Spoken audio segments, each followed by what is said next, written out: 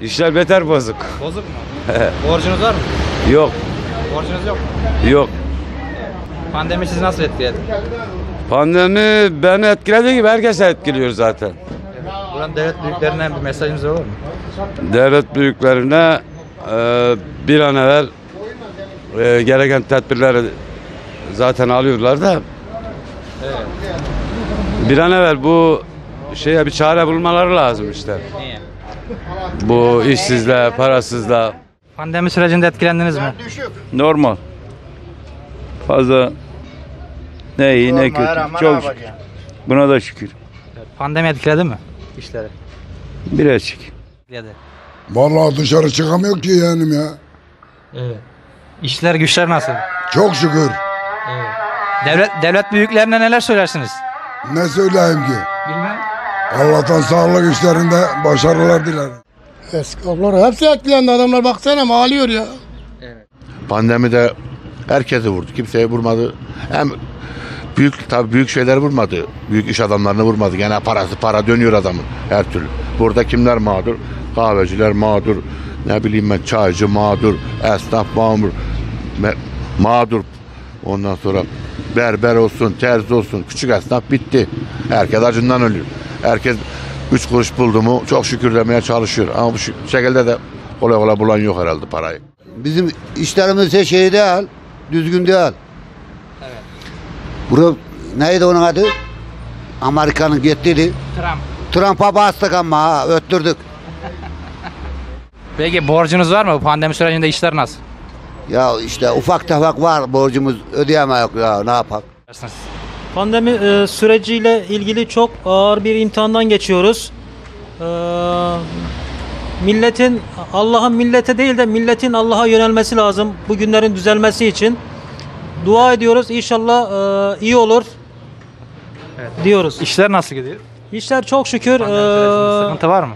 İşlere düşüş var mı? az da olsa var tabii ki. E, inşallah iyi olur. Şükrediyoruz halimize. Devlet büyüklerine neler söylersiniz? Al- Esnafa ne gibi yardımlar yapılmalı? Allah yardımcıları olsun. Ee, esnafı gözetlerlerse derdine derman olursa çok mutlu oluruz. İnsanların daha duyarlı, maskeye, mesafeye dikkat etmeleri lazım. Alalım.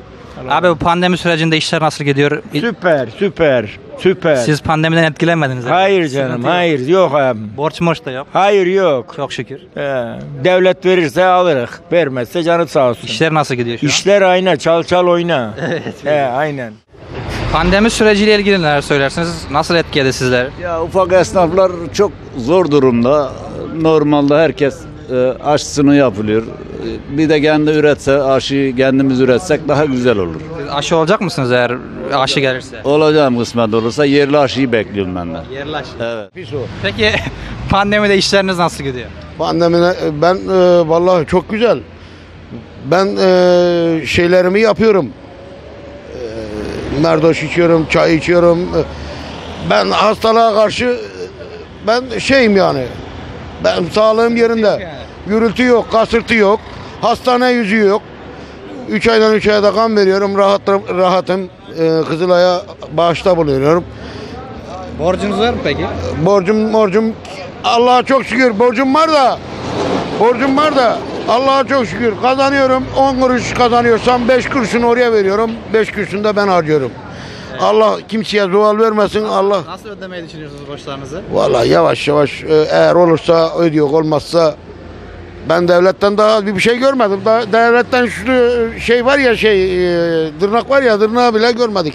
Allah zuval vermesin. Herkese saygılar, Şu hürmetler. Merdoş'u anlatır mısın ya? Bu çok merak ediyorlar. Valla Merdoş e, bir, Nerede bir- gelecekler beni bulacaklar ben de vereceğim. Cenab-ı Allah başımıza def eylesin. Efendim? Cenab-ı Allah başımıza def eylesin. İşte, güçte eski toplarız, camide alırız, öderiz. Buradan devlet büyüklerine neler söylersiniz? Hepsine saygılar, hürmetler.